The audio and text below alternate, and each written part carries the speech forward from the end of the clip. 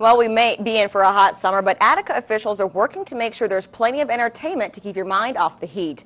In tonight's meeting, the board went over the downtown scavenger dash on May 5th and the Flint Fest in October. Another event set to bring a boost to our local economy is the Pen Stroke Poetry Festival.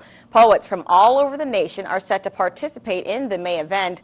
Organizers say the contest will bring in revenue and help students.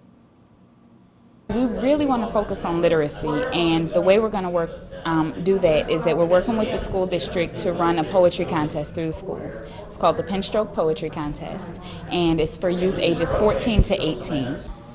To find out more about the Pen Stroke Poetry Contest, log on to our website, mysouthwestga.com.